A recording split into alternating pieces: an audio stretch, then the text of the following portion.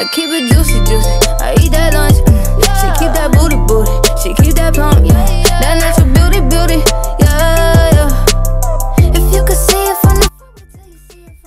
Hey everybody, it's your girl Glo. Welcome back to my channel. Thank you for clicking on this video on how to get your mojo back by a simple hairstyle. I don't know about y'all, but when someone goes through an emotion or an event, sometimes girls just feel like cutting off their hair for a new start or a new statement. And believe me, I was just there only a week ago. I felt like cutting off my hair or just dyeing my hair blonde or something to the extreme just so I can get some impulsive energy out. Well, we don't have to do that now. So all we have to do is just simply change our hairstyle and that can be just as drastic and get your mojo back, ladies and fellas. So I saved money from cutting off my hair or dyeing my hair, but this hairstyle can definitely make a statement on its own. If you're looking for more volume, please continue to watch. Um, I do use clip-ins, so you will see that I have short hair. And so I use this, but you can use the same steps if you do have real hair. You are blessed. If you want to get your mojo back and get some cute hair, continue watching. I'ma slide in the way it fit. I could tell we match. All about my racks, hella cheese. I don't fuck with rats. Big crib in Hollywood, I don't even act. Come relax, let a nigga tap. Hit you on the app. Take a low with the. wipe the paint away. Juicy and it's tighter than a. Shocker, I have short hair. So I use clip-ins every single day. Yay me. But I like to start off with my hair wet.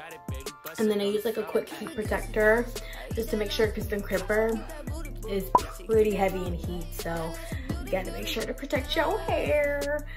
So what I start is I do the clip-in from the bottom to the top.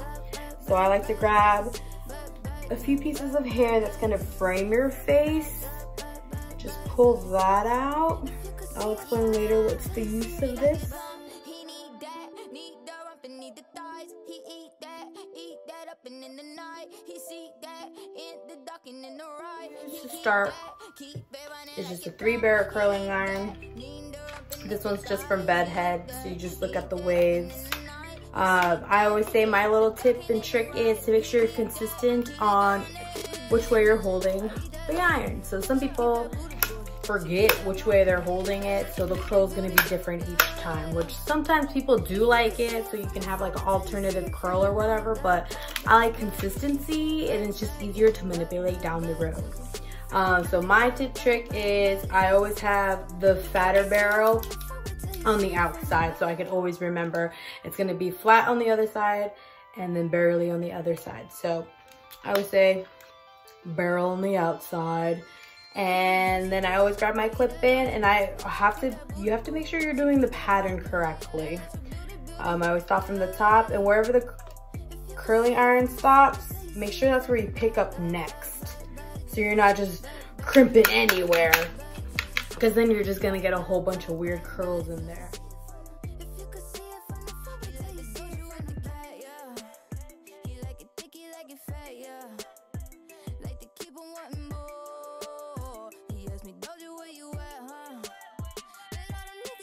So with my real hair underneath, barrel on the outside, always gotta remember the consistency. And then I hold it in.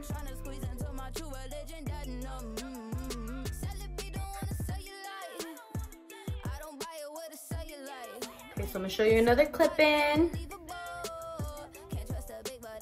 So I use 18 and 20 inches clip-ins. I just like to layer so it looks more natural since my hair is so short. You don't have to use as many clip-ins as I do, but I use about nine clip-ins, so, but they're all different measurements. So you can do it up to whatever volume standard that you would want.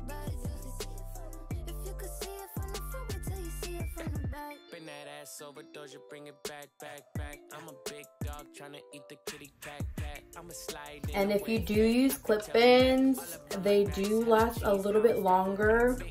So you don't have to keep doing it the next day. So all I have to do is just crimp a little bit of my hair underneath and I can just clip these in for the next day too. So let the heat shake off a little bit. I scrunch it up for some fullness and I'll clip it right in.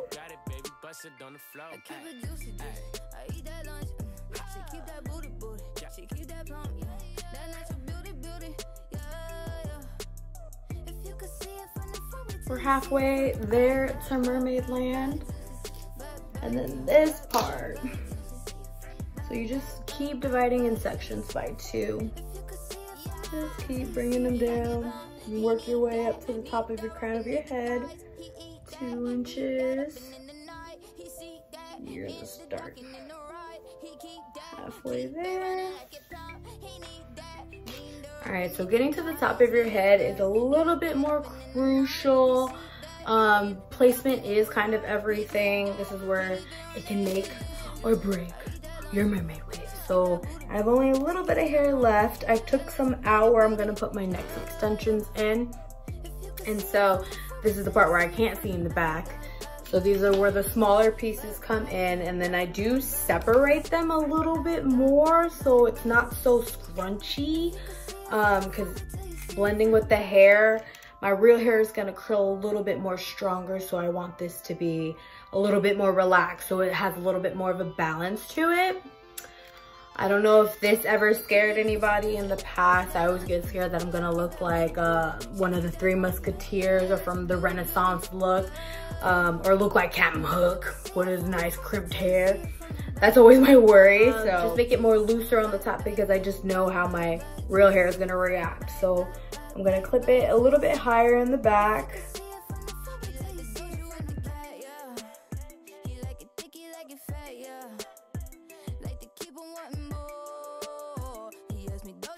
I got to do this first, but don't be afraid to trim your own clip-ins. It's totally fine. It actually looks more natural. So remember those face framing pieces? Keep those aside. And then I'm gonna put it there.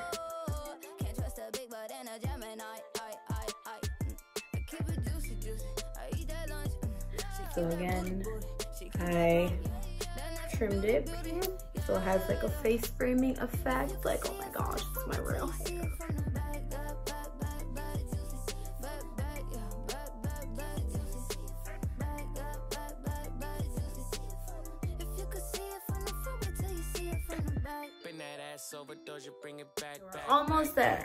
Swear it's quicker than it looks. So you get the last bits of pieces on the crown of your head, bring them back down. It's gonna look a little crazy and you're gonna have to allow it to look crazy. So don't get discouraged in the process because I know sometimes I'd be getting mad. I'd be like, oh my gosh, I'm looking like a character. I don't wanna look like a character. So again, your natural hair is gonna react differently if you're using clip-ins. So don't be worried, it reacts faster to heat. So you're gonna pinch it all the way around. In the back, it's a little bit harder to see, but I be guessing. And then again, leave those ends untouched so it has more of that beachy vibe, sun-kissed look, ocean salt spray. So sometimes I do pinch it in with the clip-in so it kind of stays put a little bit and then you push it, boop, boop, boop, just for a little bit of love.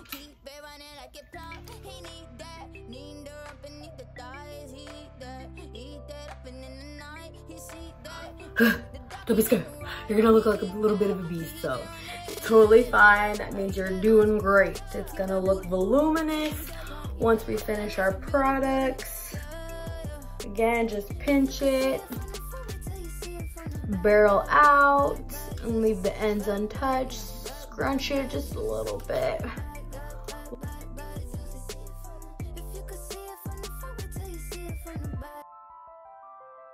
I'm looking like Jane from Tarzan. Woo! I've been in the jungle too long, y'all.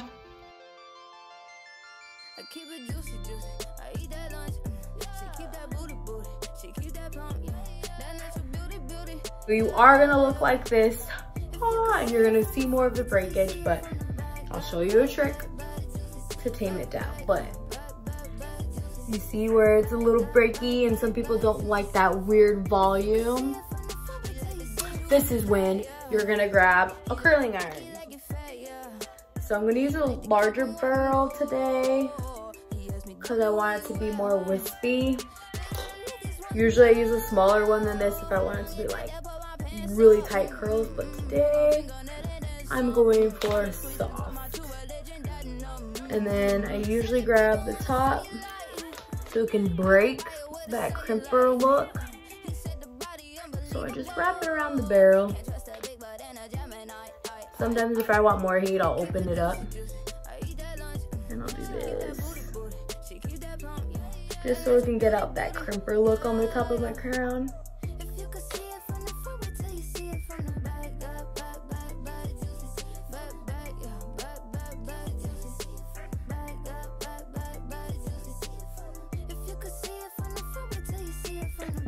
So now that you have most of your curls done, I like to tousle it. I just grabbed some simple Tresemme mousse.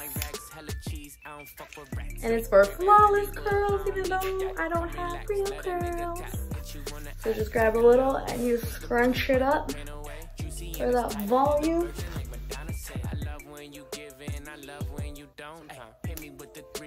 I used to do this in the seventh grade. And then I would just like scrunch it up and put it in a high bun for like that crimp wet look. Does anybody remember doing that? Anybody? Yeah, but it didn't come out like this cute. If.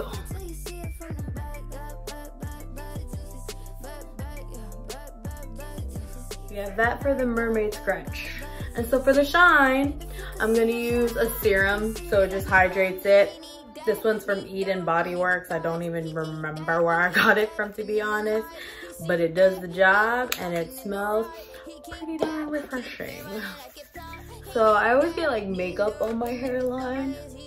So I always clear that up with the serum. And then moisturize the top of my head. Just scrunch it in for that volume. And then I grab a little bit more for the ends. So hydrated.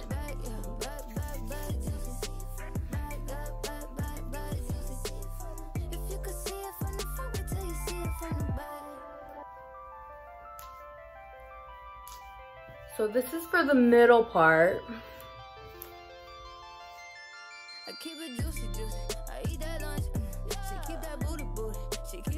And then another thing that you can do is I like putting it over to the side for more volume if you want to do that. So what I do, when you do want to put it to the side, always make sure you still part it in the middle because that's the secret. Like when you want that volume, you have to trick your hair so it's going to go the opposite way uh, for that volume. So what I do, if you have real hair, you can totally just flip it. But since I don't have real hair, I have to grab my clip in. I grab it from the middle and then I put it over here for the volume.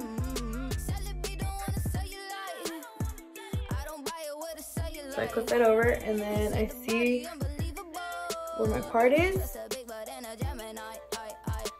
And then I just swoop it over.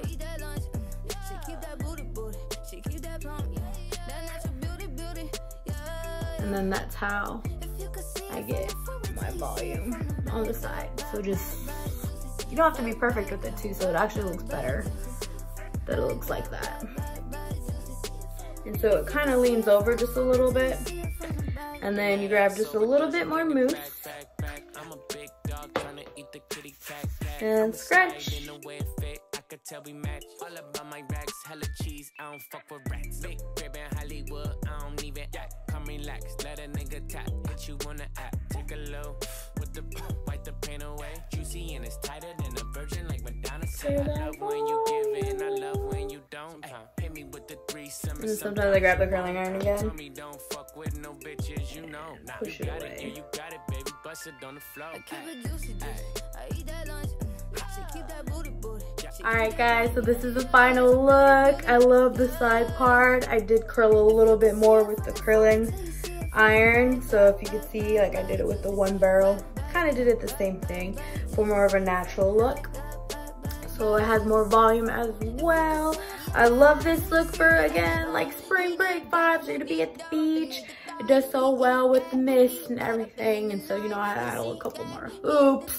Um, hopefully you learned a little bit on how to not be afraid of the three barrel curling iron. Get your mojo back. Spring break is around the corner. Let's have some fun. And then you can match this with any cute outfit.